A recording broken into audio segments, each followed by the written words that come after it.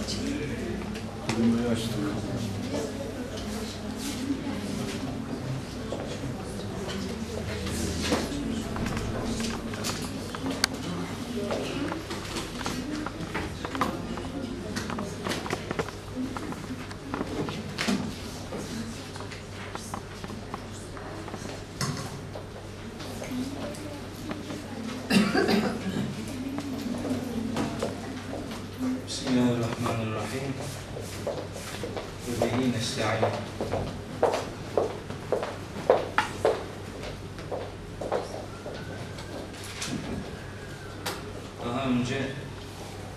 Suresinin ilk 19 ayetini okumuş idik. Bugün inşallah kalan 15-16 ayeti de okuyabilirsek sureyi bitirmiş olacağız. Bu itibarla bugün sureyi bitirebilirsek dönemi de bitirmiş olacağız. Bitmezse işte bir daha geliriz. Nasip olursa. Lokman suresinin bu kalan ayetlerinde de daha önceki ayetlerinde olduğu gibi konuşulması gereken üzerinde mutlaka mutlaka fikir üretilmesi gereken önemli, çok önemli mesajlar var. Bu mesajları birer birer hatırlamaya, okumaya davet edelim. Bismillahirrahmanirrahim. Elem tera. Arkasıyla bir ilgi kuralım. Surenin baş kısmıyla. Cenab-ı Hak surenin 10. ve 11. ayetlerinde kendi yaratma kudretine temas ettiği çok önemli uzayla, yeryüzüyle alakalı eee, çok önemli bir hakikat bildirisi gerçekleştirdi. Arada Hazreti Lokman'ın oğluna nasihatleri yer aldı ki onlar da birbirleriyle son derece uyumlu muhtevaya sahip idi. Şimdi o yarattığı varlıkların niçin yaratıldığını ve o yaratılan varlıklara yönelik insanoğlundan neler beklediğini ifade sadedinde bir takım hatırlatmalar bulunacak, hatırlatmalarda bulunacak. Tam bundan surenin hemen hemen sonuna kadar. Ara ara başka mesajlar da var ama genelde kendi kudretine işaret eden mesajlar bundan sonraki bölümde yer alıyor. Şöyle buyuruyor. Estağfirullah. Elem tera. Elem tera. Görmediniz mi? Görmediniz mi? Yani görün, bakın, düşünün. İbret nazarıyla etrafa göz atın. Bakın bakalım. Ennallâhe sakkara leküm. Allah sizin için neleri hizmete sunmuş. Mesela neleri? Mafis semavati ve mafil ardı. Göklerde ve yerde ne varsa hepsini sizin hizmetinize sundu, size boyun eğdirdi. Yani sistemin dizayn edilmesinin gerekçesi insanoğluna yönelik altyapının, fiziki şartların hazırlanması olarak belirlenmiş. Devam ediyor. Göklerde ve yerde ne varsa hepsi insanoğlu için yaratıldı ve bir de esbega aleyküm ni'amehu. Allah size nimetlerini bolca verdi. Esbege, ekmele, etemme, evse'a anlamlarına gelen bir kelime burada. Esbege Esbege böyle şumullü, detaylı, farkına varabileceğimiz ya da varamayacağımız türden bir bolluğun ihsan edilmesi demektir ki bu anlamı desteklemek için zahireten ve batıneten ifadeleri cümlenin içerisinde yer bulmuş. Zahireten ve batıneten açık ve gizli. Bu açık ve gizlilik nimetlerle ilgili de olabilir. Yani açık nimetler, görülen, hissedilen nimetler anlamına da gelebilir. Ee, batın nimetler de görülemeyen, müşahede edilemeyen ama varlığına inanılan nimetler anlamına da gelebilir. Yani nimetlerin açık olanı vardır, gizli olanı vardır demektir. Ancak bu zahir ve batın kelimeleri nimetin sunulma biçimi de biçimini de niteliyor olabilir. Yani Allah nimetlerini açık olarak size sunduğu gibi görünen bir metotla size sunduğu gibi görünmeyen metotla da size sunar. Mesela peygamber göndermek zahiri bir nimettir. Ama peygamberi vahiy ile buluşturmak batıni bir nimettir. Yani nimetin gönderiliş biçiminde de zahir batın olabilir. Nimetin kendisinde açıklık gizlilik olabileceği gibi gönderme şeklinde de açıklık ve gizlilik olabilir. Mesela nimetin açığı ve kapalısı yani zahiri ve batını anlamında diyelim ki diyelim ki kulak zahiri bir nimettir organ olarak. Ama duymak batıni bir nimettir. Yani aynı nimetlerin hem zahiri hem batıni yönü olabilir. Ayeti böyle iki türlü anlamak mümkün. Mesaj her şey insanoğlunun hizmetine sunulsun diye yaratılmıştır. Bu ayeti değişik versiyonlarıyla başka yerlerde de bulmamız mümkün. Bir tane teberrüken söyleyip Casiye suresinin 13. ayetinde böyle diyor Yüce Allah. Buyuruyor ki Estağfirullah ve sahkare leküm ma fis semavati ve ma fil ardı cemi'an minhu göklerde ve yerde ne varsa tamamını hepsini Allah sizin hizmetinize sunmuştur. Varlıklar insanın hizmetine sunulmuştur. Buna rağmen ayetin sonu nimeti hatırlattıktan sonra nimetin karşılığında neyin yapılmaması gerektiğini ya da neyin, neyin yapılması gerektiğini aynı cümleyle ifade ediyor Yüce Allah. Buyuruyor ki ve minen nasi men bunca nimet sunumuna rağmen insanlardan öylesi vardır ki yücadilü fillahi Allah hakkında tartışır. Bir gayri ilmi bilgisiz ve la huden hidayet kaynağı olmadan ve la kitabin münirin ve aydınlatıcı bir kitabı bulunmadan Allah hakkında tartışır durur böyle insanlar vardır. Allah hakkında tartışabilmek bilgisiz olmaz. Hidayetsiz olmaz. Aydınlatıcı bir kitap olmadan da olmaz. Bunlar varsa yani bilgi varsa, hidayet varsa, aydınlatıcı bir kitap varsa Allah hakkında tartışma olmaz zaten. Bunlara sahip olan Allah'ı bilir demektir. Bunun tersinden de ayete bakmak mümkün. Tersinden şöyle bakılır. Allah'ı doğru bilmenin yolu bilgiden, hidayetten ve kitabi kaynaktan geçer. Bilgisiz, hidayetçisiz ve aydınlatıcı kitabı olmadan Allah hakkında savunuculuk da yapılamaz. Hele hele bu çağda bu hiç yapılamaz. Şimdi ben inanıyorum demeyle hiç kimse hiçbir şeye itibar ediyor değildir. Mutlaka bilgi, mutlaka doğru yol anlamında bir rehber ve her şeyden daha önemlisi etrafı aydınlatan bir kitap yani Kur'an.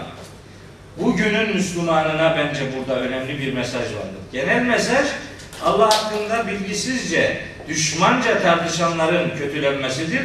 Ama buradan bize yönelik bir sonuç çıkartma imkanımız da vardır. O da Allah'ı ve dini savunmada bilgisizce, hidayetçisiz ve aydınlatıcı kitap bulunmadan böyle bir şeyin yapılamayacağını Yüce Allah ayetin ikinci manası olarak bize ifade etmiş oluyor. Şimdi devam ediyor. Bu mantığı yürütür bir eda ile ve ilâ kîle lehum bu bilgisizce Allah hakkında tartışanlara yani Mekkeli müşriklere şöyle dendiği zaman İttebi'u ma enzelallahu Allah'ın indirdiğine tabi olun. Yani kitabın dediğini yapın. Peygamberin vahyi malzemesi olarak size sunduğuna itibar edin, onun takipçileri olun dendiği zaman Galu şu cevabı verirler, vermişler. Ben hayır. Nettebi'u ma vecedna aleyhi abâena. Biz atalarımızı ne üzerinde bulduysak biz ancak ona tabi oluruz. Başka bir şeye tabi olmayız. Bu çok güncel bir cevap. Bunu çok duyarız. Hem de yanımızda secdeye kapandığımız kardeşimizden bile duyarız. Yan yana. Hep bunları duyarız. Eski köye yeni adet mi gelmiş? Evet. Eski köye yeni adet geldi. Kur'an bunun en önemli göstergesidir. Mekke eski köydü, yeni adet geldi ve Allah buna uyulmasını istiyor. Bu yeni adet bugün de gelmiş sayılır. Çünkü Kur'an'ın gelişi devam ediyor. Evvelen kâne şeytanu yed'uhum ila azabis sa'ir. Şeytan onları cehennem azabına çağırıyorsa da mı böyle atalarının dediklerine tabi olacaklar? Atalar, dedeler dinine tabi olacaklar. Şimdi e, bu ata ata dede mirası anlamında dini kalıntılarla ilgili Kur'an'ın çok önemli mesajları vardır. Bakara suresinin 170. ayeti çok belirleyici bir ayettir.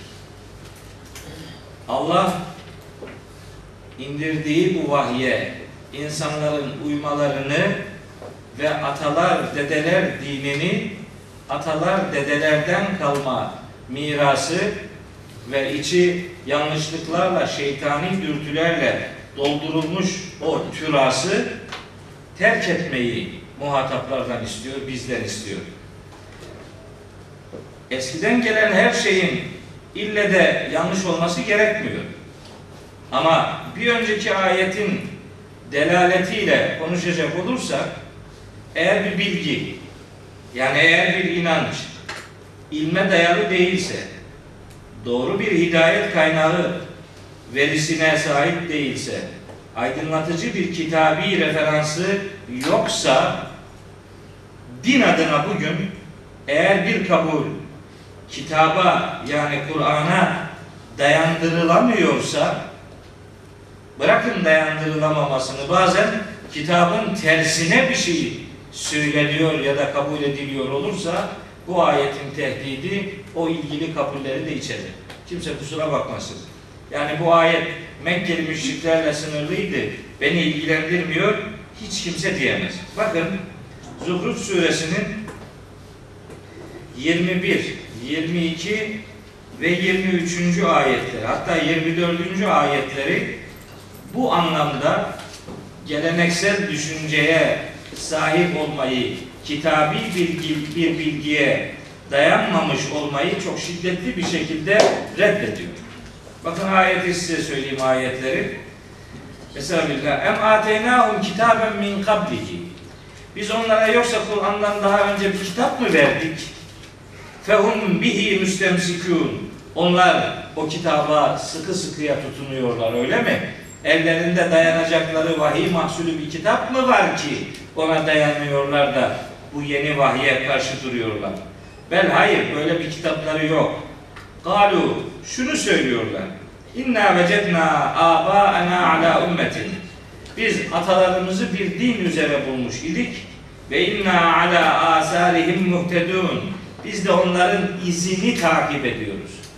Atalarımızı ne üzere bulduysak biz de onu takip ediyoruz. Şimdi devam ediyor Yüce Allah. Ve kezalike ma erselna min qablike fi qaryetin min nedirin. Senden önce pek çok uyarıcı, pek çok memlekete pek çok uyarıcılar göndermiştik. İlla kâle mutrefuha. O uyarıcıların geldiği toplumların ileri gelenleri. Mutref şımarık davrananlar. ileri gelen zengin şımarıkları. Şöyle derlermiş. İnna vecedna abâena ala ümmeti. Atalarımızı biz din üzere bulduk. İnna ala âfârihim muktedûn. Biz onların izini takip etmek durumundayız. Başka bir tarafa gidemeyiz.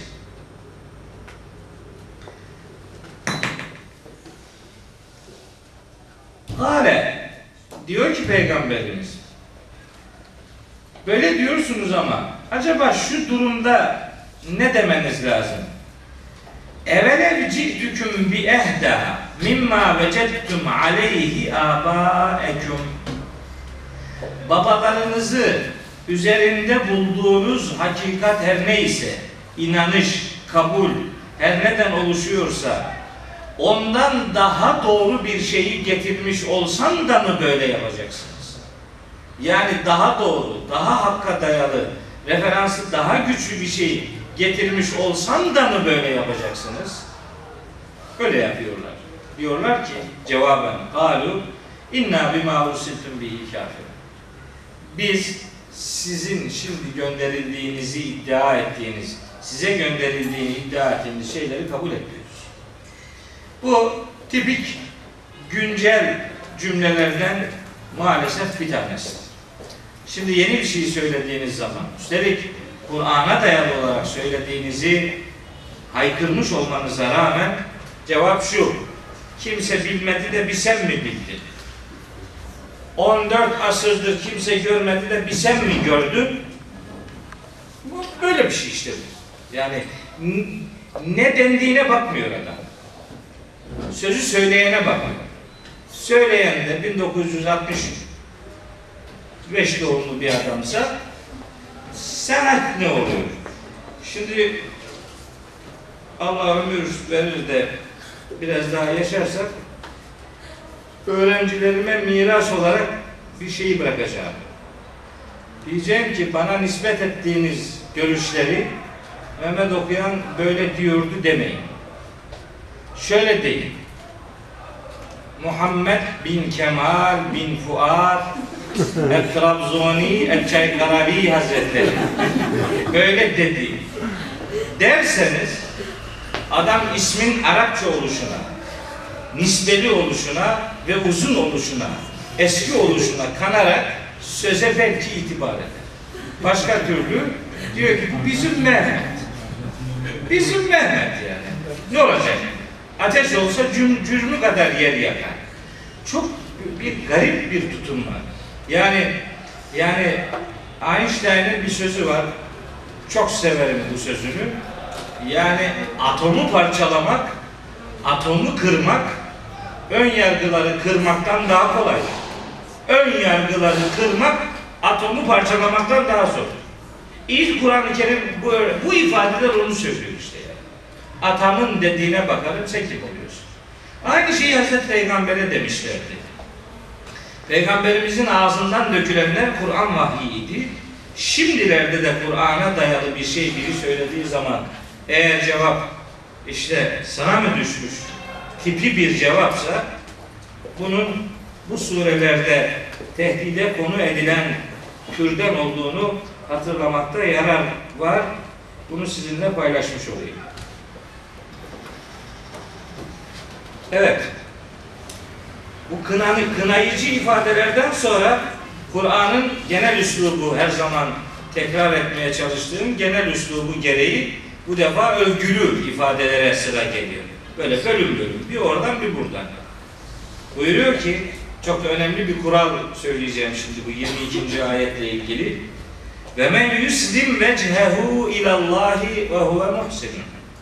Her kim muhsin olarak muhsin ihsan sahibi demek. İhsan işini düzgün yapmak demektir. İbadette Allah'ı görüyormuş gibi ibadet etmek, başka tavırlarda düzgün iş yapmak demek. İşini düzgün yapan bir adam olarak kim yüzünü Allah'a çevirirse, kim yüzünü Allah'a teslim ederse ve men yuslim vecehu ilallah yüzünü Allah'a teslim ederse buradaki yüz ifadesi Arapçada Kur'an geleneğinde şöyle bir kural vardı. Bazen bütün bütün zikredilir, parça kastedilir. Bazen parça zikredilir, bütün kastedilir. Buna Arapça ifadeyle zikri kül, iradeyi cüz veya zikri cüz, iradeyi kül derler. Yani parçayı kastetmek için bazen bütün söylenebilir, bazen bütünü kastetmek için parça da söylenebilir. İşte bu ayet bu son söylediğim türden bir ifadedir. Kim yüzünü Allah'a tesbih ederse demek kim benliğini, varlığını, her şeyini kim Allah'a yöneltir, ona teslim ederse fakat istemsek işte o, o adam sıkı sıkıya yapışmış demektir. Nereye? Bil urvetil vuska. Hiç kopmayacak en sağlam kulpa. Kopmayacak sağlam kul. kul. El vuska safa sağlam demek. El urve kul. Kulp demek yani. Tutup asılınan şey. El urvetül vuska burada tabi mecazi bir anlam ifade ediyor. Safa sağlam bir kul anlamına geliyor. Hadis-i şeriflerde el urvetül vuska'nın Kur'an olduğu söyleniyor. El urvetül vuska Kur'an'dır. Yani kim benliğini Hakka teslim etmeyi başarabilmiş ise işte o Kur'an'a sımsıkı sarılmış demektir. Kur'an'ın hakikatlerine sımsıkı sarılmış demektir. Bu urve-i vuska sahip olunması gereken, sarılması, insanların sarılmaları gereken sağlam bir kul demektir.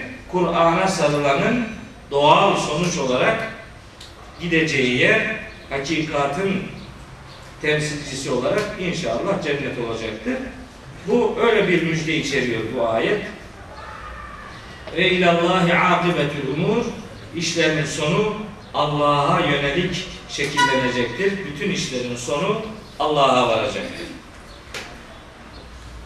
Benliğini Allah'a teslim edenin akıbeti iyi olunca şimdi tersine de bir gönderme yapıyor. Bu defa nankörlük yapanlara ait bir ifade sırayı alıyor. Buyuruyor ki ve men kefere kim de nankörlük yaparsa felâ yahzunke küfruhu onun küfrü seni üzmesin. Hiç canını sıkmana de, demez. Şimdi seni yalanlıyorlar diye canını sıkıyorsun. Hiç canını sıkma diyor Allahu Teala. Bakın Ankebut suresi 18. ayette diyor ki beyin tüketti bu. Seni yalanlarlarsa eğer fakat kül fakat kezzebe umemun min kablikum. Sizden önce nice ümmetler de böyle yalanlamışlar. Eğer sizi yalanlıyorlarsa daha önce de böyle yalanlama işlerine şahit olmuştu insanlık tarihi. Fazla can sıkmaya değmez.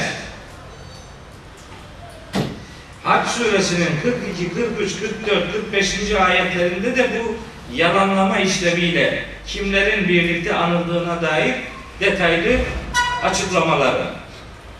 Surenin bu surenin 12. ayetini ifade ederken demiştim ki Aziz Peygamber bu tür cümleleri izah olarak şöyle bir e, şöyle bir ifadeyi söylemiş. La yenfa'uhu şükrü men şeker ve la yadurruhu küfrü men kefer. Yani şükredenlerin şükrünün Allah'a bir yararı olmadığı gibi nankörlük yapanların nankörlüğünün de Allah'a bir zararı yoktur. Şimdi bunlardan da her kim nankörlük yaparsa onlara üzülme. Hazreti Peygamber çok kibar bir adammış. Çok kibarmış.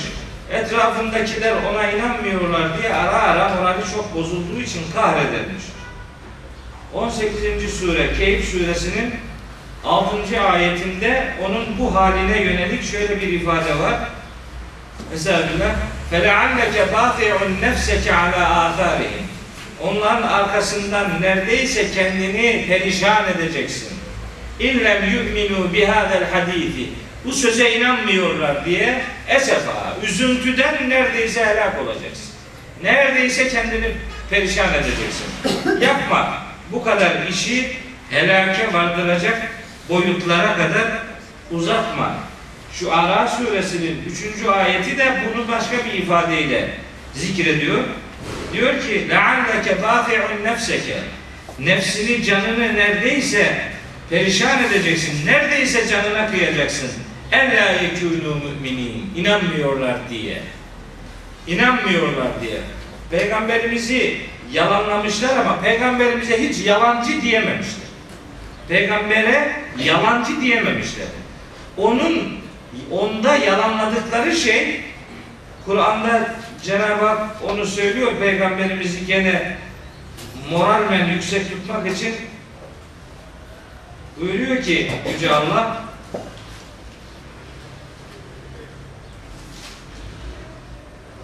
En'am suresi 33. ayet bakın aynı ifadeler kad na'lemu biz biliyoruz innehu şunu biliyoruz ki yahzunu kellezi yekulune onların söylemekte oldukları ya da söyleyecekleri sözler seni hüzünlendiriyor.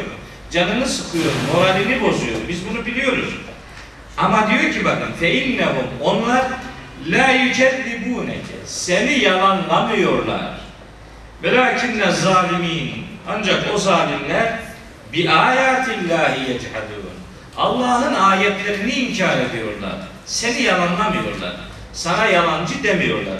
Onların senin zatında sana bakarak yalancılık ifadeleri seninle alakalı değil, senin tebliğ ettiğin vahiy ile alakalıdır diye Peygamberimizi moralmen yüksek tutmaya gayret eden bir ifadedir. Burada da sözü edilen odur. Devam ediyor.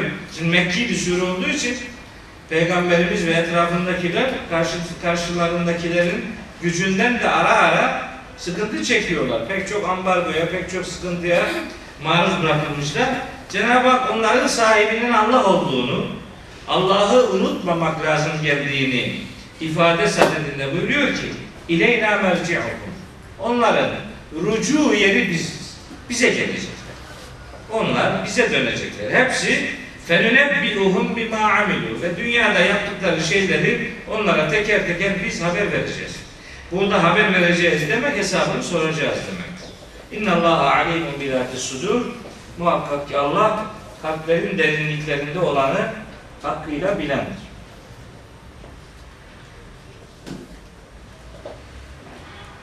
Nümetti'uhum galilen. Onları biraz metalandırıyoruz. Biraz yaşıyorlar. Dünya hayatı Cenab-ı Hakk'a göre ne kadar uzun olursa olsun bizim bakışımızda kısadır. Allah dünya hayatını daima kısa diye nitelendiriyor. Onun için nümetti'uhum galilen. Onları az bir süre biz metalandırıyoruz, rızıklandırıyoruz, yaşat, yaşatıyoruz.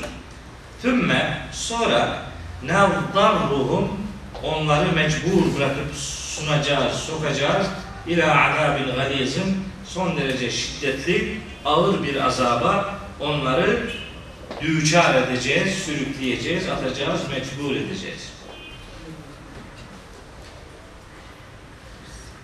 Evet, bu meta'un kalil dünya hayatının azlığına dair ifadeler var Kur'an-ı Kerim'de.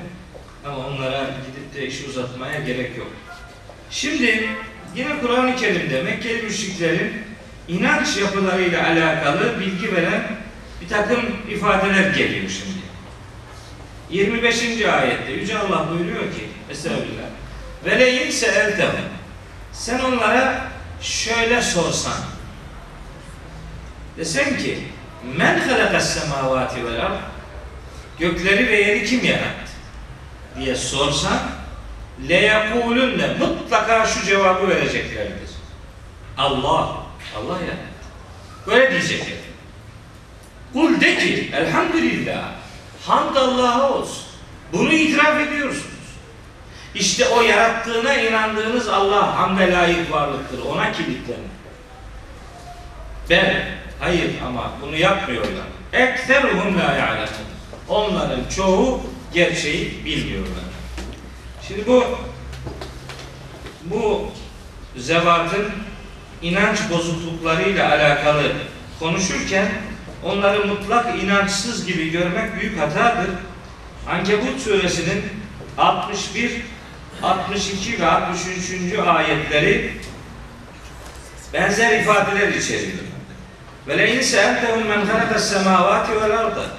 Gökleri yeri kim yarattı diye onlara sorsan. Ve sehhara şemse vel kamer.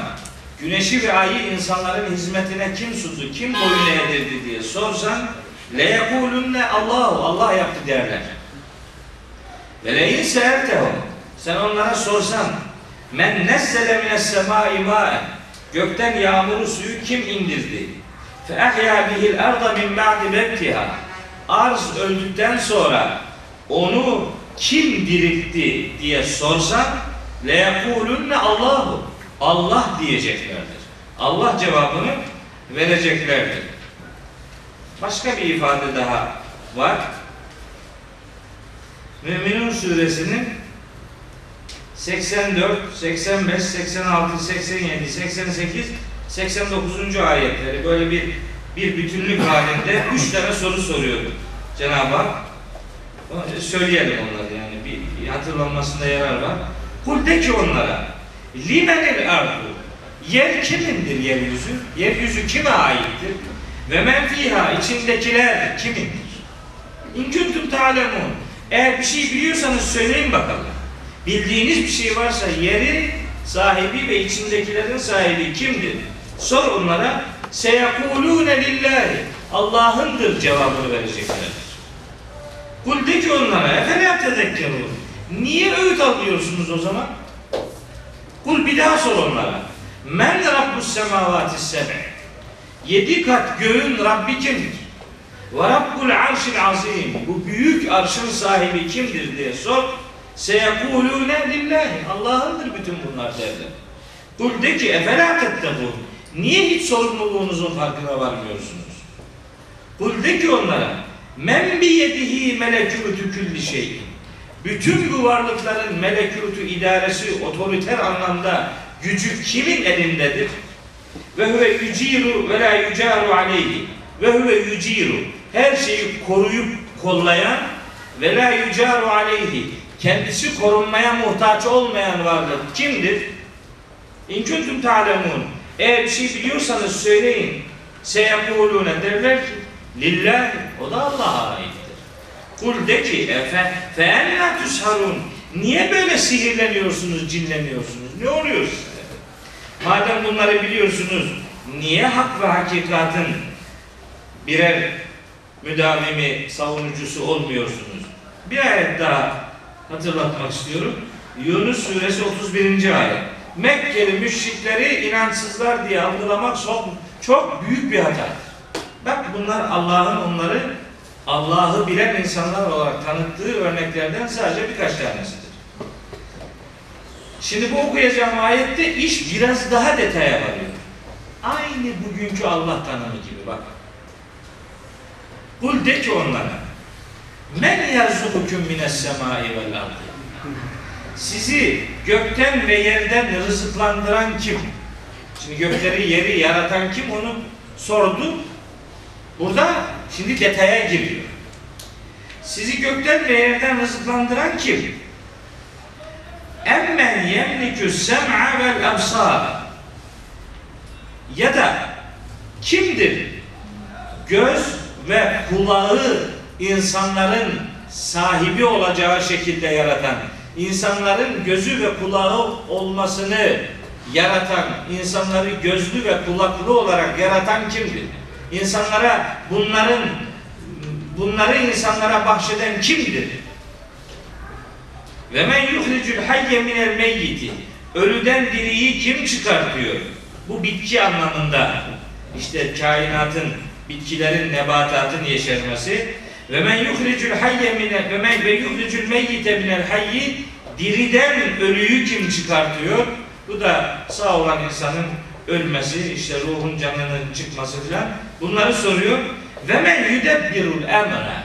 Bütün bütün işleri kim idare ediyor? Kainatın bu normal addedilen düzeninin sahibi kim? Kimin elinde bunlar? Sor onlara. Feseyekulune. Cevap olarak diyeceklerdir ki Allah Allah fekul efela tettekûn. De ki niye hiç sorumluluğunuzun farkına varmıyorsunuz?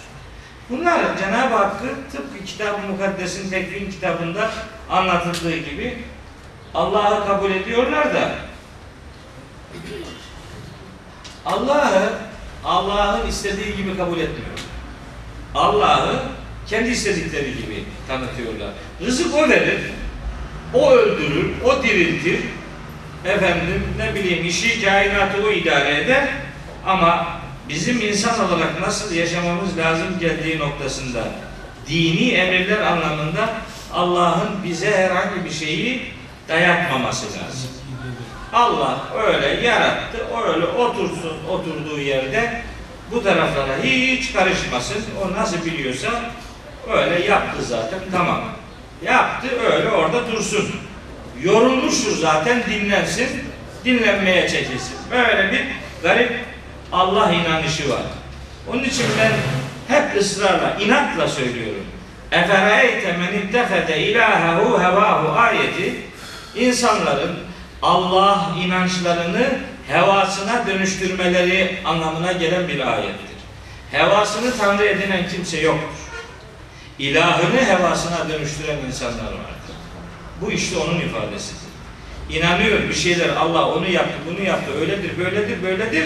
Öyle diyor ama sonra Cenab-ı Hakk'ın onun hayatıyla ilgili ortaya koyduğu ilkeleri önüne sunduğu zaman bunlar olmaz diyor. Bu Allah'ın istediği gibi programlama hastalığıdır. Kur'an böyle bir inanışı kökünden reddediyor. Bunu size söylemiş olayım. Lillahi ma fis semavati vel. Göklerde ve yerde ne varsa hepsi Allah'a aittir.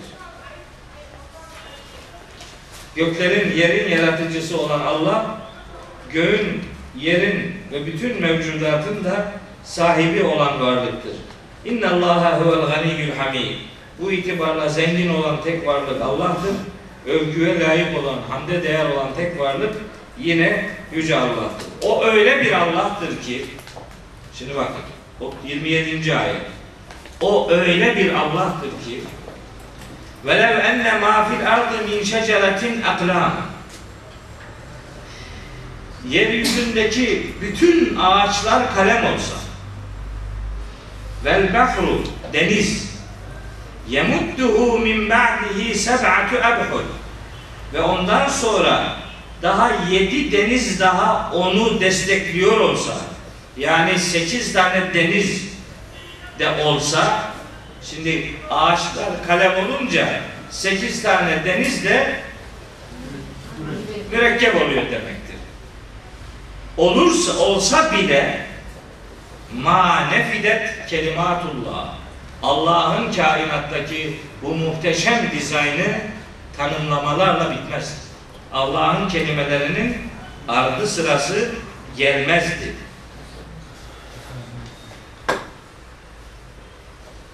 Buyuruyor ki oradaki deniz ve artı yedi deniz olsa orada mürekkep kelimesi geçmiyor. Kur'an, Kur'an'la tefsir edilir.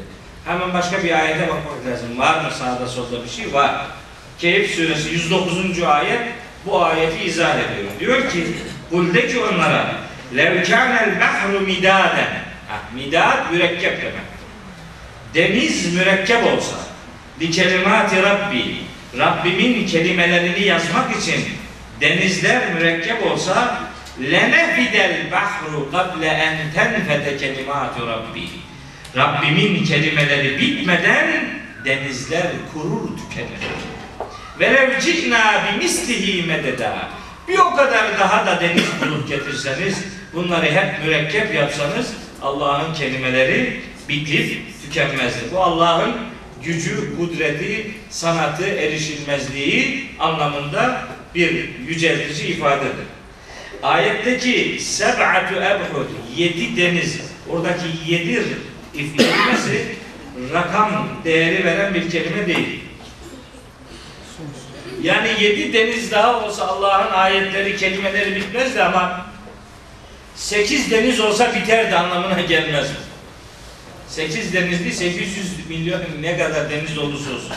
Bu Cenab-ı Hakk'ın ilminin, kudretinin sınırsızlığını ifade eden bir teknik kullanımdır.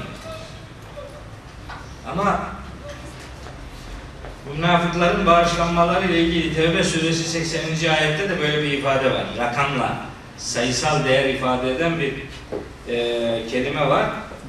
Estağfir lehum ev la testağfir lehum in testağfir lehum seb'ine merreten felen yağfirallahu lehum. Cenab-ı Hak Peygamberimize diyor ki sen onların bağışlanması için istersen yalvar, istersen yalvarma. Fark etmez yani. İstersen 70 kere yalvar. Allah onları bağışlamayacaktır. Niye? Zalike bi. Zalike bi Arapçada çünkü demektir. Zalike bi. Çünkü sebebi şu. Ennehum keferu billahi ve Resulü. Onlar Allah'ı ve elçisini inkar etmişlerdir. Onları Allah bağışlamayacak. Adam biri diyor ki 70 kere bağışladı. Ben 71 kere bağışlayacağım, şey yalvaracağım Allah belki affeder. Ya o 70 kelimesinin ne anlama geldiğini kavramak için çok zeki olmaya gerek yok. Niye? Bir sonraki ayet ifadedeki kelime felen yağfirallahu. O len ifadesi bu işin ebediyen olmayacağını gösteriyor. 70 kere değil, 700 bin kere de yapsan sonuç değişmeyecek diyor allah Teala. Kur'an-ı Kerim'de böyle sayısal ifadeler her zaman rakamsal değer anlatmazlar. Çokluk, imkansızlık anlamına gelirler. Buradaki yedi deniz ifadesi de öyle bir ifadedir. Yani yok, bitmez Allah'ın kelimeleri. Hz. İsa için de Allah kelimetu kelimesi ifadesini kullanır. O da Cenab-ı Hakk'ın yaratma standartları dışında bir başka yaratmaya gücünün yettiği anlamında Allah'ın kelimesi o demektir. Yoksa Hristiyanların zannettiği gibi Hz. İsa Allah'ın kelam sıfatı filan değil. Evet, inna Allah aziz hakim. Allah her şeyden üstün olan ve hikmetiyle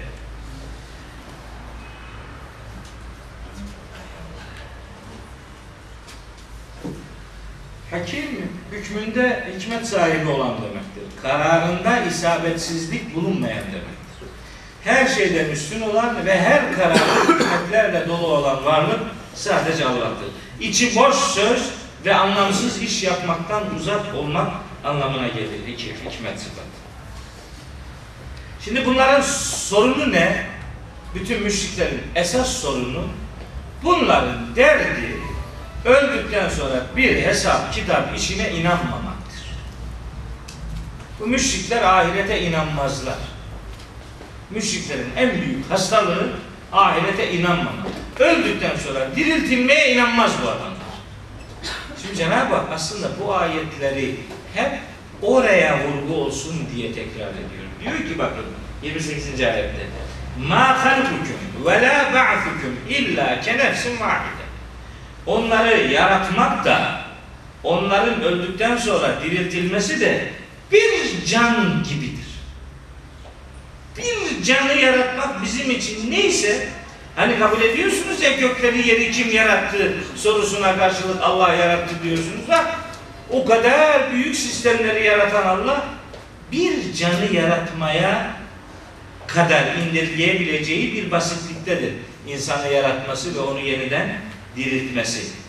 Yasin suresinin son grup ayetinde yine buna bir gönderme var. 81 Yasin 81 Eveleyse zeli halakas semavati vel arda bi kadir ala en yahluka mislehum Gökleri ve yeri yaratan Allah onların benzerlerini ahirette yeniden yaratmaya hiç kadir olmaz mı? İçinde bir gökleri yeri yaratmayı zikrediyor ki çünkü Mekkeli müşrikler onu kabul ediyorlar. Orayı kabul ediyorlar, ahireti kabul etmiyorlar. Cenab-ı Hak da bu sistemi yaratanın yoktan var edenin vardan var etmesinin çok kolay olduğunu söylüyor. Sıfırdan var etmektir aslında zor olan. Onu yaptığına inanıyorsanız vardan var etmek Allah için son derece kolaydır. O mesajı veriyor.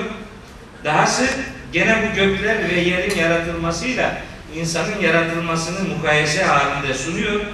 Mümin suresinin 57. ayeti buyuruyor ki Mesela la halqus semavati vel ardı ekberu min halqin nas. Gökleri ve yerin yaratılışı, gökleri ve yeri yaratmak insanları yaratmaktan daha büyük bir iştir. Onu yarattığını kabul ediyorsunuz da sizi yaratmak neyin nesiymiş yani? Siz de bir şey misiniz Yaratın. Yani hiçbir sorun yok. O şimdi gene burada da öyle bakın. Göklerin yerin yaratılması mukayesesinden sonra öldükten sonra diriltilmenin çok kolay olduğunu söylüyor. Sizi yoktan var etmek ve sizi öldükten sonra yeniden diriltmek bir can yaratmak gibidir. Can yaratmak demek böyle illa insan olmak zorunda değil. İnsan yaratmak belki gene zordur. En küçük bir canlıyı yaratmak demek. En küçüğünü yaratmak nasıl bir şeyse sizi yaratmak da ancak öyle bir şeydir. Hiçbir şey değil yani sizi yaratmak. İnna Allah semi'un basir. Allah her şeyi görüyor ve o anlamda söylediğiniz her şeyi duyuyor. Yani bitti şimdi orası başka bir şey.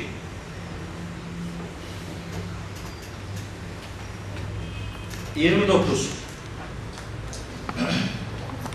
Elem tere